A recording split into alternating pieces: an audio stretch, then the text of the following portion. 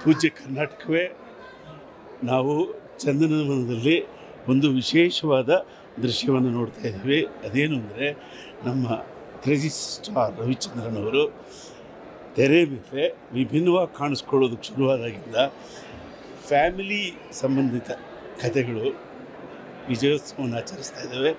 ಅವರು ಮಾಡಿದ ಕುಟುಂಬಾಧಾರಿತ ಎಲ್ಲ ಚಿತ್ರಗಳು ಈಗ ಒಂದು ಕುಟುಂಬವನ್ನು, ಕುಟುಂಬದ ವರ್ಗವನ್ನು ಸಂತೋಷಪಡಿಸ್ತಾ ಇದೆ.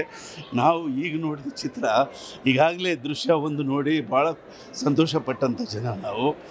ಆ ಚಿತ್ರದಲ್ಲಿ ಒಂದು ಕುಟುಂಬಕ್ಕೆ ಆಗುವ ಅನ್ಯಾಯವನ್ನು, ಆ ಅನ್ಯಾಯಕ್ಕೆ ನ್ಯಾಯವನ್ನು ಸಲ್ಲಿಸಿಕೊಳ್ಳುವ ಒಂದು ಬುದ್ಧಿವಂತಿಕೆಯನ್ನು ದೃಶ್ಯ ಒಂದರಲ್ಲಿ ನೋಡಿದ್ವಿ ನಾವು. ಭಾಳ ಕುತೂಹಲವನ್ನು ಕೆರಳಿಸಿದ್ದಂಥ ಚಿತ್ರ ಅದು. ದೃಶ್ಯ ಟು ನಾವು ಕನ್ನಡದಲ್ಲಿ ಬರುತ್ತೆ ಅಂದಾಗ ಬಹಳ ಕುತೂಹಲದಿಂದ ಕುತೂಹಲವನ್ನು ಎರಡು ಮಾಡ್ಕೊಂಡು ಕಾದಿದ್ವಿ. ಇವತ್ತು ಆ ದೃಶ್ಯವನ್ನು ನೋಡಿದ್ವಿ. ದೃಶ್ಯ ಟು.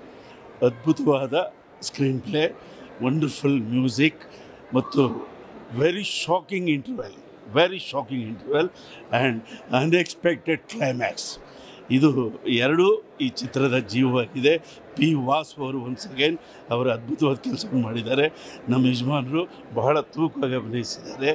ಈ ಕಥೆ ಇಂಟರ್ವೆಲ್ಲಿನ ಶಾಕಿಂಗ್ ಕ್ಲೈಮ್ಯಾಕ್ಸಿನ ಅನ್ಎಕ್ಸ್ಪೆಕ್ಟೆಡ್ ಥಿಂಗನ್ನು ನೀವು ತೆರೆ ಮೇಲೆ ನೋಡಿ, ಕನ್ನಡ ಚಿತ್ರರಂಗದ ಚಂದನವನದ ಭವಿಷ್ಯ ದೃಶ್ಯ ಟೂ ಇಂದ ಪ್ರಾರಂಭವಾಗಿದೆ.